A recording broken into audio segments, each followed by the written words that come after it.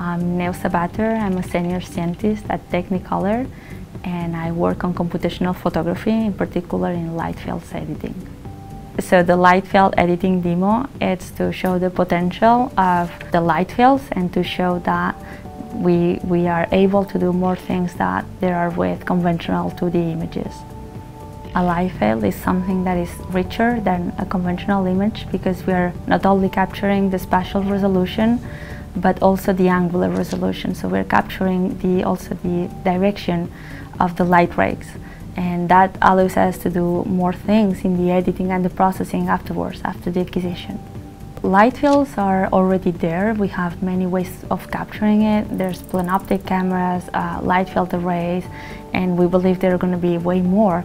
And we need to exploit that data and we need to develop methods and algorithms that are going to exploit um, all the information we have in a light field. Actually, the first person who mm, gave the idea of the technology um, was 100 years ago, so it's not new. The thing is that very recently um, optics and capture options uh, has become um, feasible. So now we have those captures, so it's not uh, a theoretical idea anymore. And now that we have the capture, we have the data, and um, we are now able to develop the uh, techniques that are going to uh, deal with, with the light field data.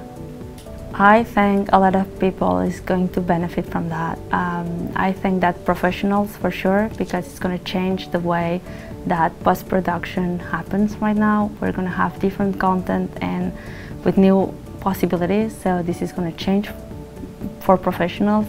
But light fields are also going to be possible in many products for all the consumers. So phones, for example, or uh, head-mounted displays, or uh, we can even imagine to have cameras, handheld cameras, and an amazing uh, use case, I think it's going to be virtual reality. And uh, if we, we are able to use the light field content into the VR, uh, the experience is going to change. We're going to be able to use um, real acquisitions and to mix that with CGI. And um, this is something that is going to be great.